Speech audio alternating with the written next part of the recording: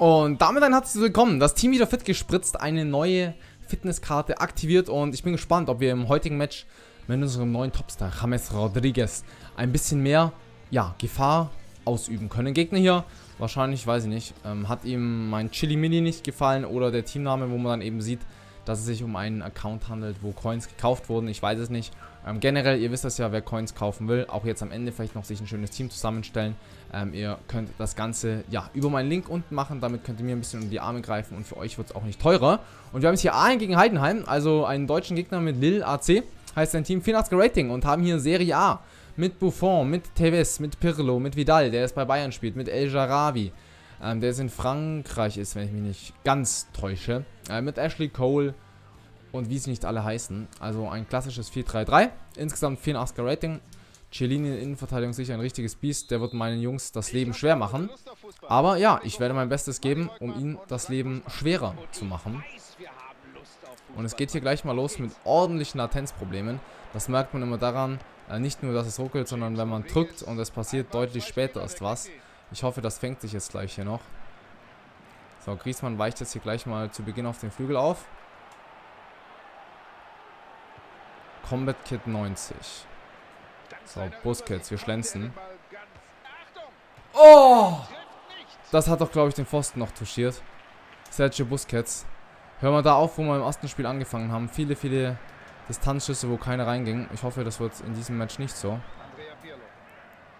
Aber lecken tut's wie Sau. Und die Latenz war, dachte ich, eigentlich gut. Eigentlich. Ja, schauen wir mal, wie sich die nächsten Minütchen noch entwickelt. Abbrechen für mich keine Option. Das gehört sich einfach nicht. So, und jetzt Griezmann. Der war zu lang. Schade. Ha. Also, und der Keeper fällt über Antoine Griezmann. Und wir probieren den Lupfer. Oh mein Gott. Was ist denn nur los mit Busquets? Schlechter Abwurf vom Keeper und fast direkt bestraft. Aber auch eben wieder nur fast. Und Kopfball Richtung Griesmann. Und Griesmann lauert dann noch im Abseits. Ein Stürmer, der hier zu langsam mit zurückläuft. Deswegen, ja, gab es da gleich die Bestrafung, wenn man es so nennen will. Auf den Fuß. Und Groß fängt den Ball hier ab. Und wir haben hier Antoine Griesmann. Der hier gut rumkurft, aber Ah, das ist doch jetzt ärgerlich. Warum muss das hier jetzt lecken? Otamendi gegen Tevez. Und da gibt es nur einen Sieger. Sehr stark gemacht. Und James Rodriguez lässt sich hier ganz schön fallen. Aber wenn dann ein Busquets mit nach vorne geht, dann füllt er da mehr oder weniger die Lücke. Und Otamendi zum zweiten. Wähler mit ein bisschen Platz. Wir legen aber nochmal ab. Wollte den Doppelpass machen und Ashley Cole nicht mehr der schnellste. Wähler überläuft ihn. Flanken mal in die Mitte. Aber kein Abnehmer da. Ja, Kopfballtechnisch, also Griesmann kann sicher köpfen. Aber ich denke, ist nicht der Überkopfballspieler.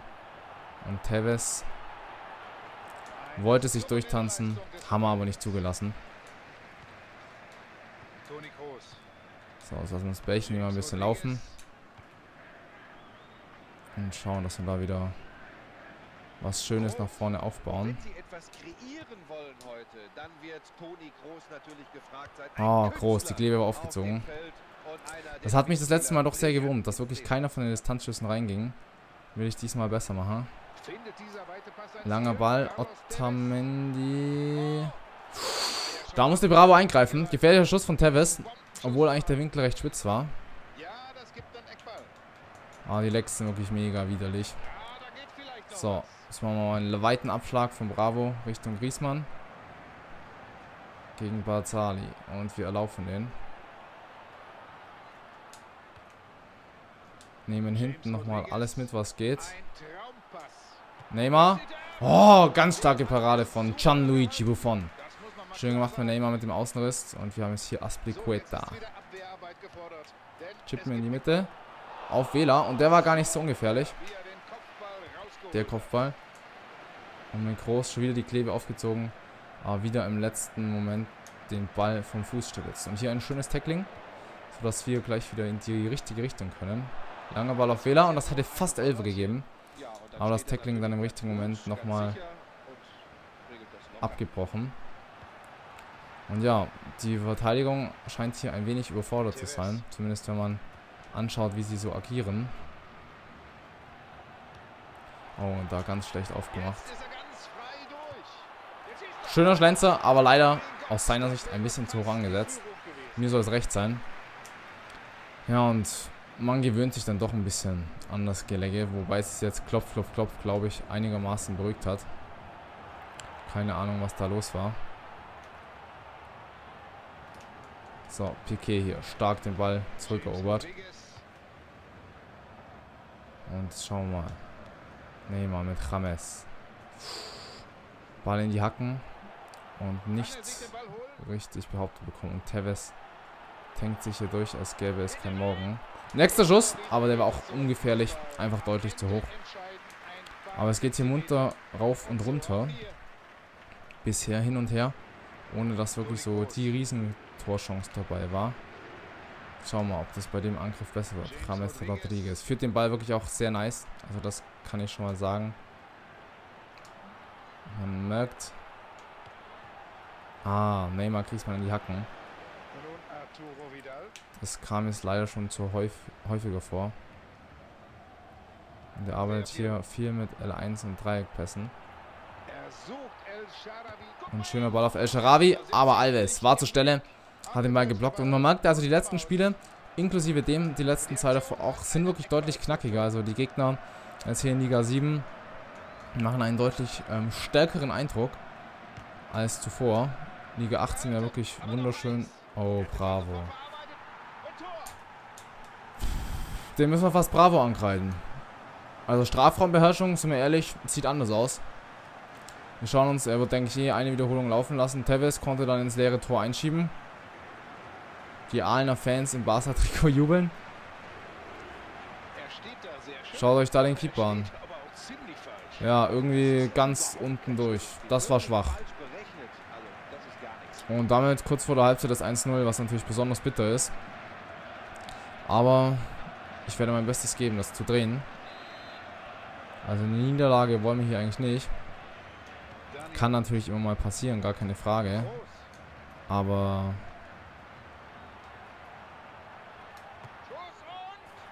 Neymar! Das ist doch die Antwort! Was ein Traumtor! Und sogar für alle Trickfetischisten ein paar Tricks mit drin. Nichts Besonderes. Oh, kurz geschaut und... Oh, war der schön. War der schön. So antwortet man, meine Freunde. Wunderschön. Und schon macht FIFA wieder Spaß. Und gleich das nächste Fragezeichen.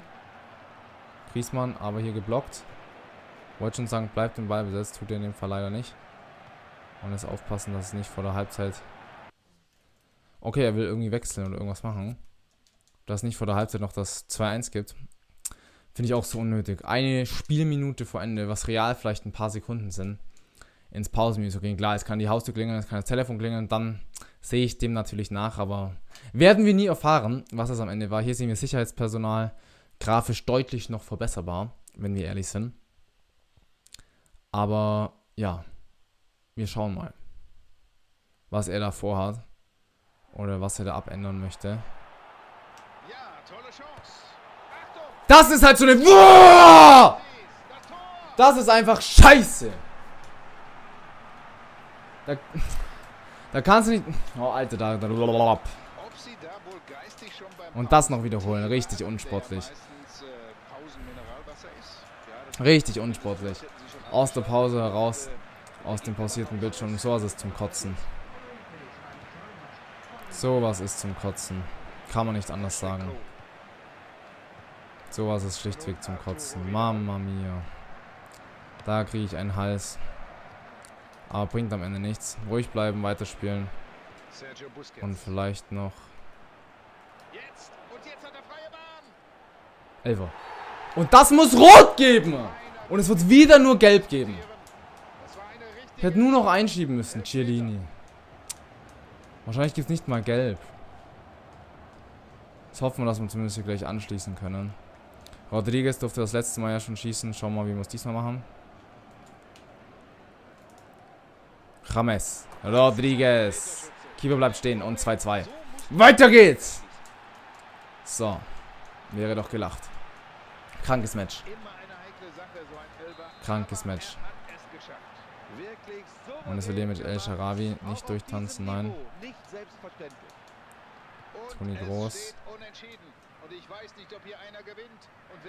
Kandreva. Einmal zweiter Stock. Und jetzt haben wir die Halbzeit.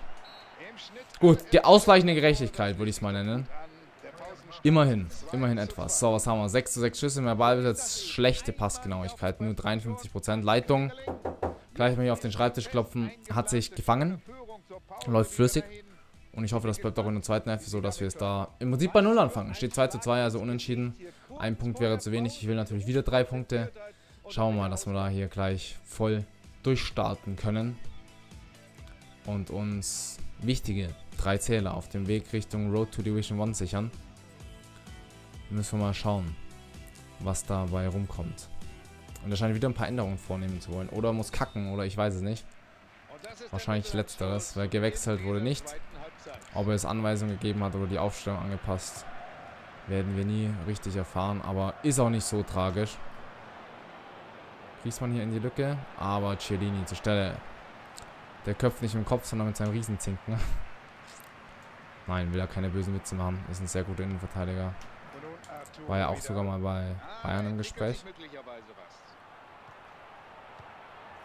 Und stark von Otamendi. Und da habe ich zu lange gebraucht mit Neymar. Da wollte ich unbedingt auf Griezmann. Und dann, ja, hat man ein Gegenspiel nicht mehr im Auge gehabt. So, kann Dreva und Neymar geraten hier ein bisschen aneinander. Aber scheint sich schon wieder beruhigt zu haben.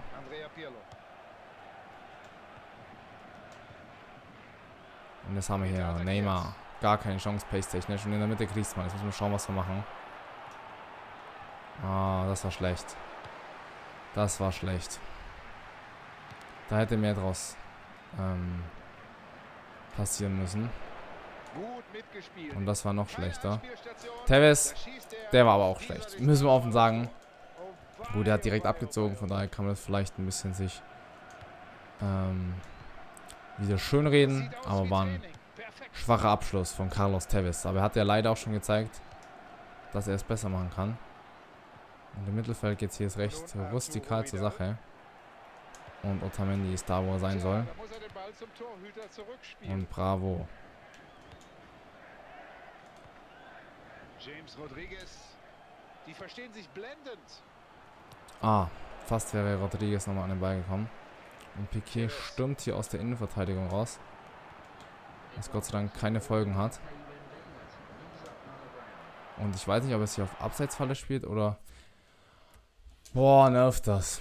Solche Gegner nerven dann. Ich hoffe, als Strafe können wir ihn besiegen. Mit dem ständigen im Pausenmenü was wechseln. Oder er macht da wirklich solche Anpassungen. Weil insgesamt merkt man, ja, dass sein Team jetzt eher wieder ein bisschen offensiver ähm, ausgerichtet ist. Oder eben, ich weiß nicht, irgendwelche Special-Anweisungen getätigt wurden. Ich probiere sie bestmöglich zu ignorieren, mein Ding zu machen. Und möglichst schnell das 3-2 zu erzielen. Rodriguez. Also was mir auffällt an ihm, er lässt sich wirklich immer sehr weit fallen. Ähm, vielleicht soll ich ihm die Anweisung geben, da ein bisschen offensiver zu agieren. Wobei, wenn er hier nach hinten mitarbeitet, ist es ja auch nicht schädlich. So, Piquet und Aspliqueta auf dem Flügel. Es fehlt Piquet, Piquet natürlich in der Mitte, aber Alves, auch wenn er kein Kopfball ungeheuer ist, klärt das hier. Griezmann läuft in den Spieler rein, kriegt den Vorteil, jetzt wird abgepfiffen. Combat Kit 90. Ich tippe mal auf 90er Jahrgang. Oh, ganz schwacher Ball. Und Piquet gegen Carlos Tevez. Stark abgelaufen. James Rodriguez. Und Griezmann vergisst den Ball. Ah, wir haben ihn wieder. Und Antoine Griezmann. So. das war perfekt vorbei. Und jetzt Busquets. Abraller, Neymar. Was der da rausfischt, dieser Buffon. Was eine Sau. Gut, der Schuss war nicht besonders gefährlich, aber...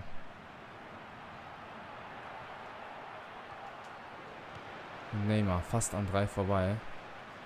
Und am Ende aber doch hängen geblieben.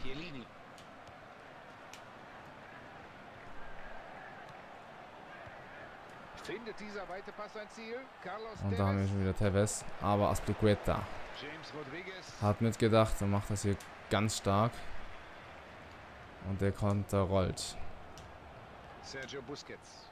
Busquets und Groß mit nach vorne. Und jetzt wollen sie das Flügelspiel forcieren. Und Piquet wieder schneller als Carlos Tevez. Und jetzt haben wir nur noch eine Viertelstunde.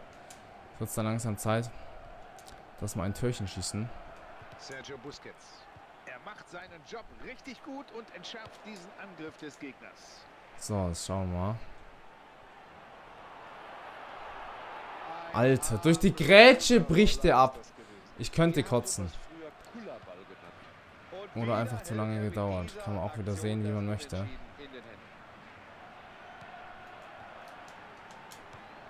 So, was machen offensiv? 10 Minuten haben wir noch. Ist mal gut hier. Viel Hickhack jetzt im Mittelfeld. Gar nichts. Steh auf, du Lappen. War, glaube ich, El Sharawi. Ein paar Minuten sind nur noch zu spielen, liebe Zuschauer. Und es ist noch alles drin. Es Und Busquets. Ja, da fehlt natürlich der Pace. Aber Neymar mit einem starken Tackling. wir schicken nochmal Busquets auf die Reise, legen in die Mitte, legen nochmal rüber und der kommt dann leider nicht mehr an. Genau und Rodriguez eilt schon wieder mit nach hinten. Und das war abseits von Tevez. So, es haben noch 5 Minuten. Es rennt uns langsam die Zeit davon. Ah, vielleicht ein, zwei Angriffe. Neymar lässt sich den Ball wegstibitzen. Unnötig.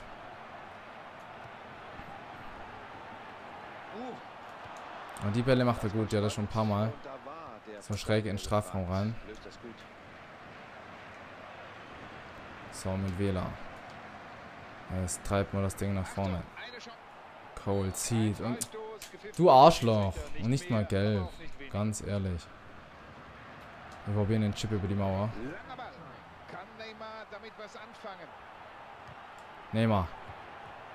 Was war bitte das? Im Fallen vorbeikullern lassen. Ach Gott, das wäre es doch gewesen. Grandios gehalten, ein Augenschmaus.